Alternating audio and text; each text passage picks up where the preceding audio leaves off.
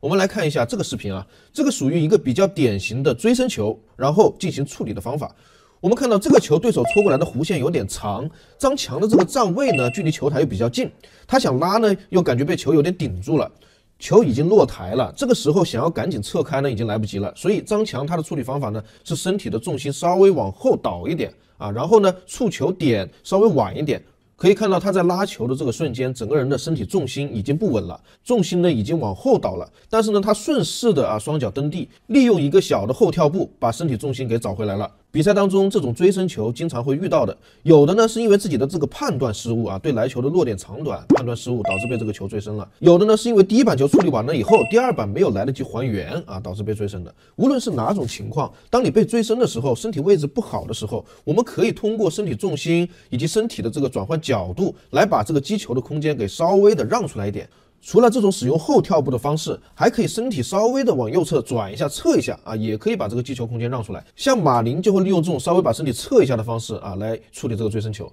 当然，这个对于运动员的临场反应能力和手感的要求是非常高的，因为这种动作啊已经属于非常规的动作了，需要你这种反应能力特别好，而且手上的这种手感以及手腕、手指这种调节能力特别好。今天的这个训练视频呢，非常的珍贵。大家觉得在中国乒乓球女子运动员当中，谁的这个技术打法最有特点呢？我个人觉得应该是刘诗雯。刘诗雯的打法特点呢是快、准、狠啊，她的这种小臂的摆幅速度特别的快，而且还原很快，动作干净利落，没有丝毫的拖泥带水。我们看一下她这个正手攻球的这个动作啊，和其他运动员还是有区别的。